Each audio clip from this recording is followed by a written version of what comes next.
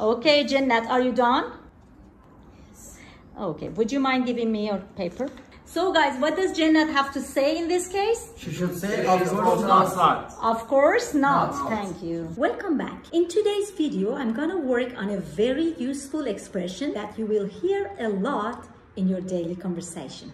And that is, would you mind or do you mind? You have to know a few important things about this common expression. First, let's look at the meaning of would you mind and do you mind. So, mind means you don't like something or that you resist something that's a problem for you. We often use these expressions to ask if something is okay. We're going to use mind plus a gerund. And as you know, a gerund is a verb plus ing. Like, do you mind coming with me?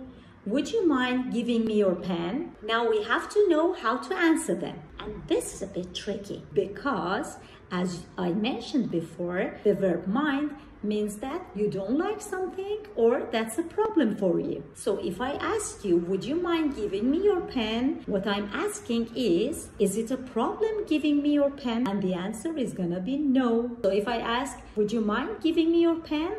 You should say, no, here you are. So the answer would be like, no problem, no, go ahead, or of course not.